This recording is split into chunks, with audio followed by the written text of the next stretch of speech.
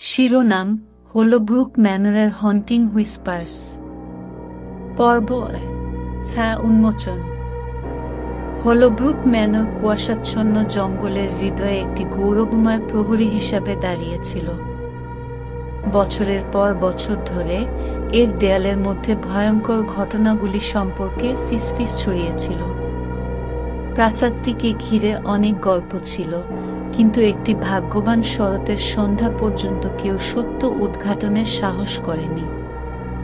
Amelia একজন দুঃসাহসিক লেখক, যার রহস্য উদ্ঘাটনের আগ্রহ ছিল, কুখ্যাত প্রাসাদে একটি রাত কাটানোর সিদ্ধান্ত নিয়েছিলেন।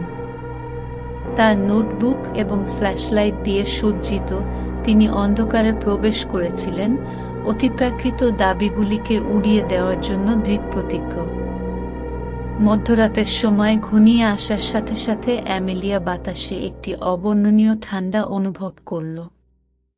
বিশাল হলোয়েতে মোমবাতিগুলো জ্বলছে, দেয়ালে নাচের ছায়া ফেলেছে। হঠাৎ একটা দমকা হাওয়া দরজা বন্ধ করে দিল এবং দেয়াল থেকে একটা আওয়াজ ভেসে উঠল এখন চলে যাও, নতুবা চিরকালের জন্য আটকে থাকো। নিরুৎসাহিত অ্যামেলিয়া সত্যকে ধরতে দৃঢ়প্রতিজ্ঞ সে ক্রিকিং সিডি বেয়ে একটি জীর্ণ ঘরে প্রবেশ করল, যেখানে একটি অলঙ্কৃত আয়না ঝুলছে। আয়নার দিকে তাকিয়ে তার প্রতিফলন ধীরে ধীরে একজন দুঃখী মহিলার মতো হয়ে গেল। আতঙ্কে নিথর, অ্যামেলিয়া তার কাঁধে ঠান্ডা হাত অনুভব করল। রক্তমাখা গাউনে একটি ইথারিয়াল অবয়বের মুখোমুখি হতে তাকে ঘুরিয়ে দিল। পার্ট এ অতীতের প্রতিধ্বনি। স্পেক্টর নিজেকে লেডি জেনেভিভ হিসাবে পরিচয় করিয়ে দেয়, হল ব্রুক ম্যানরের প্রাক্তন উপপত্নী। তিনি নিষিদ্ধ প্রেম, ঈর্ষা এবং হত্যার একটি মর্মান্তিক কাহিনী বর্ণনা করেছিলেন যা প্রাসাদের ইতিহাসকে দাগ দিয়েছিল।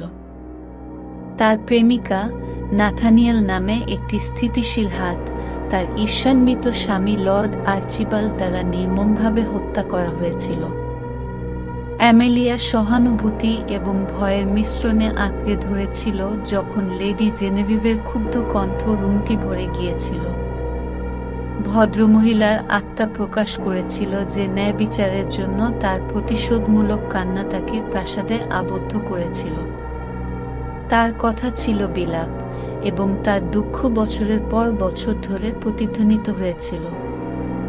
লেডি জেনেভিভকে বন্ধ খুঁজে পেতে সাহায্য করার প্রতিশ্রুতি দিয়ে অ্যামেলিয়া ন্যাথানিয়েলের হত্যার পেছনে সত্য উদ্ঘাটনের জন্য একটি অনুসন্ধান শুরু করেছিলেন। তিনি প্রাসাদের ইতিহাসে প্রবেশ করার সময় তিনি লুকানো প্যাসেজ, গোপন ডায়েরি এবং ভুলে যাওয়া সত্যগুলি আবিষ্কার করেছিলেন, যা অতীতের একটি ভয়াবহ চিত্র এঁকেছিল। পার্ট এ, উদ্ঘাটিত হতাশা। ধুলিময় রেকর্ডের মাধ্যমে অ্যামেলিয়া জানতে পেরেছিল যে নাথানিয়েলকে এমন একটি অপরাধের জন্য ফাঁসানো হয়েছে যা তিনি করেননি। জেনেভিভের সাথে থাকতে মরিয়া তিনি ম্যানরের নিচে একটি লুকানো বগিতে লর্ড আর্কিবল্ডের বিশ্বাসঘাতকতার প্রমাণে হোঁচ খেয়েছিলেন। কিন্তু সত্য প্রকাশ করার আগেই তাকে চিরতরে চুপ করে দেওয়া হয়। অ্যামেলিয়ার তদন্ত তাকে প্রাসাদের নিচে একটি গোপন চেম্বারে নিয়ে যায়। ছায়ার মধ্যে তিনি নাথানিয়েলের কঙ্কালের অবশেষ খুঁজে পান। তার আঙ্গুলগুলি একটি রক্তে মাখা চিঠির চারপাশে আবৃত ছিল। চিঠিতে জেনেভিভ এবং ন্যাথানিয়েলের মধ্যে সম্পর্কের বিস্তারিত বিবরণ ছিল এবং লর্ড আর্কিবল্ডের কাছ থেকে একটি জঘন্য স্বীকারোক্তি ছিল। প্রমাণ হাতে নিয়ে অ্যামেলিয়া সেই ঘরে ফিরে আসেন যেখানে তিনি লেডি জেনেভিভের মুখোমুখি হয়েছিলেন। চিঠিটি উঁচু করে ধরে তিনি মর্মান্তিক প্রেমিকদের বিচার দাবি করেছেন। ঘরটা কেঁপে উঠল যেন অ্যামেলিয়ার সংকল্পের প্রতিধ্বনি। পার্কেভ অস্থির আত্মা। হঠাৎ এক ভয়ঙ্কর নীরবতায় বাতাস ভারী হয়ে উঠল। মোমবাতিগুলো নিভে গেছে, ঘরটাকে অন্ধকারে নিমজ্জিত করছে। ফিসফিস অ্যামেলিয়ার চারপাশে ঘোরাফেরা করছে এবং দেয়ালগুলি তার কাছে বন্ধ হয়ে গেছে বলে মনে হচ্ছে। লেডি জেনেভিভের আবির্ভাব বাস্তবায়িত হল, তার ক্ষুব্ধ চোখ চিঠির দিকে স্থির। লর্ড আর্কিবাল্ডের প্রতিহিংসা পরাজন আত্মা বাস্তবায়িত হওয়ার সাথে সাথে একটি বজ্রধ্বনি গর্জন প্রাসাদের মধ্য দিয়ে প্রতিধ্বনিত হয়েছিল। একটি বর্ণালী যুদ্ধে আত্মাদের সংঘর্ষে ঘরটি কেঁপে উঠল। অ্যামেলিয়া তার মাটিতে দাঁড়িয়ে অটল সংকল্পের সাথে স্বীকারোক্তিটি উচ্চস্বরে পড়ে। স্বীকারোক্তির প্রকাশ প্রতিহিংসামূলক ভুতুদের চক্রকে ভেঙে দিয়েছে।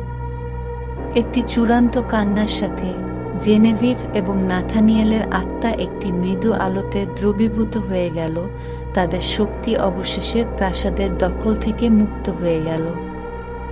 এক সময়ের ভুতুরে পরিবেশটি উত্তোলন করে, তার জেগে এক ভয়ঙ্কর শান্ত রেখেছিল।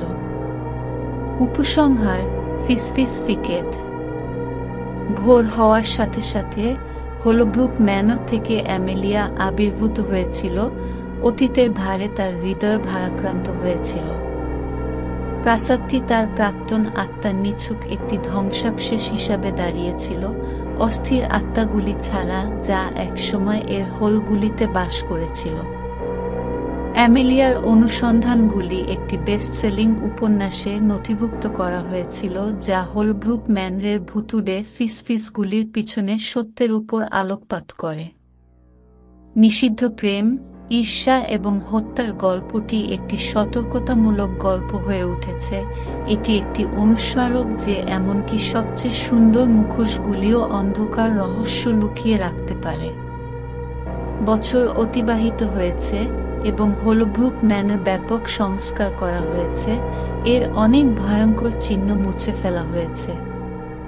কিন্তু কেউ কেউ বলে যে কুয়াশাচ্ছন্ন রাতে লেডি জেনেভিভের হাসির একটি ক্ষীণ প্রতিধ্বনি এবং নাথানিয়েলের ফিসফিস এখনও শোনা যায়, এটি একটি অনুস্মারক যে অতীত সত্যিই বিশ্রাম পায় না।